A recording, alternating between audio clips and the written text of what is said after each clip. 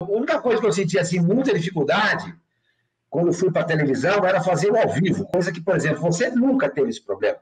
A desenvoltura que você tem, entendeu? Eu me lembro do rádio. O rádio é uma, rádio é uma escola para todo mundo. O cara que faz rádio faz qualquer coisa. Faz qualquer coisa. Né? É, então, eu, eu, lembro dessas coisas que, que eram um pouco difíceis para mim, entendeu? Falar, saber a hora certa de falar, na, no, é, na hora certa de, de, de, de, dar uma informação, de não atropelar, etc. e tal. É, como você falou, né, eu comecei na, na, na, imprensa chamada imprensa escrita, né? Eu, eu gostava de escrever, etc. e tal, mas tra trabalhar em rádio, rádio é uma cachaça, né, meu? Você sabe disso. Você está lá na Transamérica, você trabalhou em, em, em, outras emissoras também, e rádio é uma delícia, né? Televisão também é gostoso, mas te, te, te ingessa um pouco, rádio não, não, não te ingessa de jeito nenhum, entendeu?